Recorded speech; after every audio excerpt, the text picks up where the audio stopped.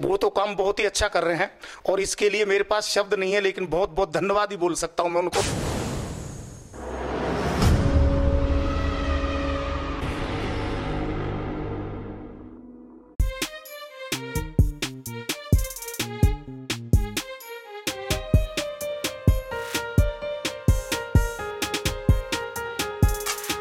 सबसे पहले तो मैं अनमोल जी को बहुत बहुत धन्यवाद देना चाहूँगा कि वो इस मैटर पे लेकर और फ़िल्म बना रहे हैं, इसलिए सबसे पहले मैं उनको धन्यवाद करूँगा। दूसरी बात ये है कि अधिक पैसे से अच्छा एजुकेशन प्राप्त हो, ये मैं नहीं समझ सकता कि कैसे प्राप्त कर सकते हैं। लेकिन ये है कि हमारे देश में ज़्यादातर लोग अभी भी 80 परसेंट जनता है जो गाँव से जुड़ी हुई है और वो इतना पैसा खर्च नहीं कर सकती। तो क्या वो एजुकेशन प्राप्त नहीं कर सकते? ऐसा नहीं है। अगर एजुकेशन अच्छा होना चाहिए, पैसा नहीं, एजुकेशन, ईमानदारी से अगर एजुकेशन दिया जाए तो ही छात्र और छात्रा आगे बढ़ सकते हैं, देश का नाम रोशन कर सकते हैं। तो आज की जो चल रहा है, जो दुनिया भर के जो पैसे खर्च किए जा रहे हैं, कोचिंगों वगैरह है, ये सब इस क्षेत्र के उसमें इतना पैसे का कोई मतलब ही नहीं है। पहले भी हम, पहले हमारे पुराने समय में जब, क्या नाम से आश्रम चलते थे, गुरु पढ़ाते थे तो उस समय कौन सी ऐसी फैसिलिटीज़ थी? लेकिन उस समय भी लोग खूब एजुकेटेड होते थे, सब पढ़े लिखे थे। तो इस, इसी तरह से हम भी जानते हैं कि जितने विद्यालय हैं, इन विद्यालयों को ईमानदारी से एजुकेशन देना चाहिए, पैसे को तोल कर नहीं।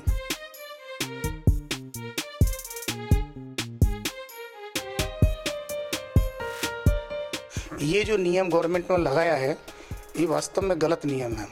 जब स्टूडेंट को ये पता है कि हमको कोई फेल करने वाला नहीं है तो स्टूडेंट उन्हें तो विद्यालय में तो अध्यापकों की नहीं सुनेगा, घर पे उनके पेरेंट्स की नहीं सुनेगा।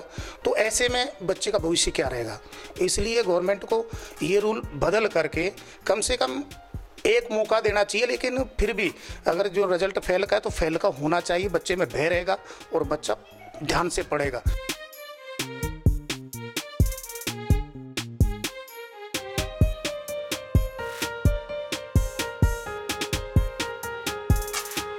बच्चों का भय बिल्कुल ख़त्म हो गया है। हम नहीं चाहते भय दिखाना है बच्चों को, लेकिन भय के बिना पढ़ाई नहीं हो सकती, ये भी निश्चित है।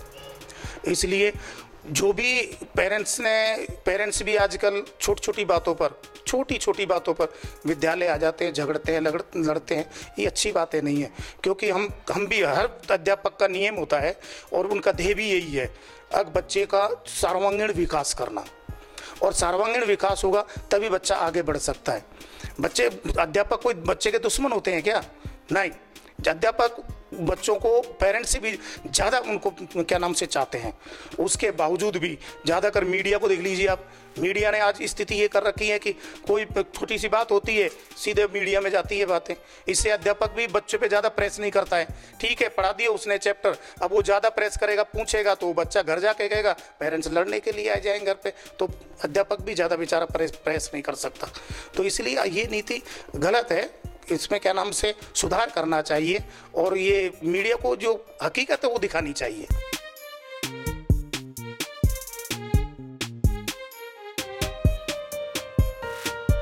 क्योंकि आजकल भौतिक युग है भैया, और भौतिक युग होने के कारण लोग बाग पैसे के पीछे ज़्यादा दौड़ने लगे। जो एक ध्येय था, अध्यापक का जो उद्देश्य था, उससे भटक चुके हैं।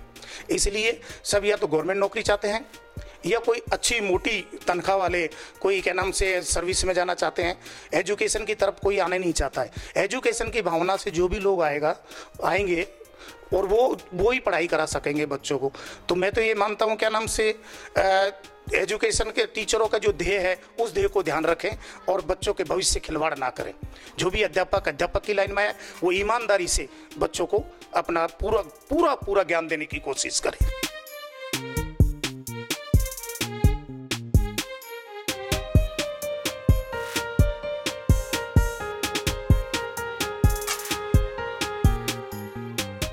देखो, ऐसे ही जैसे जिस तरह से टीचर के खिलाफ जो कार्रवाई होती है पेरेंट्स के खिलाफ भी कार्रवाई होनी चाहिए। उनको कौन ने हक दिया है? अब किसी भी गुरुजन से जाके या अध्यापक से जाके बदतमीजी से बात करें। हाँ ठीक है, तरीके से कोई भी मैटर होता है, तरीके से बैठकर, हम बैठ करके सुलझा सकते हैं, कोई भी बात। कोई ऐसा कोई इशू नहीं होता है, जिसका कोई समाधान नहीं होता है।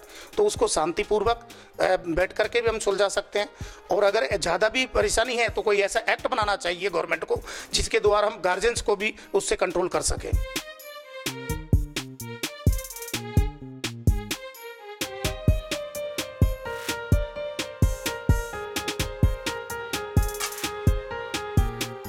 अगर कोई, मान लीजिए बच्चे के भविष्य से, बच्चों के भविष्य से जुड़ी हुई फ़िल्म है और उससे सुधार हो सके, एक बच्चे में भी अगर सुधार हो जाए तो हम धन्यवाद के पात्र अपने आप को मानेंगे, क्योंकि बच्चे का भविष्य एक ही बच्चा सारे देश देश को बदल सकता है। सबसे बड़ी बात ये। इसलिए हम पूर्ण सपोर्ट करेंगे, ऐसे अगर कोई एजुकेशन से संबंधित अगर कोई फ़िल्म बनाए अगर अनमोल भैया तो हम पूरा सपोर्ट करेंगे उनको इस बात के लिए।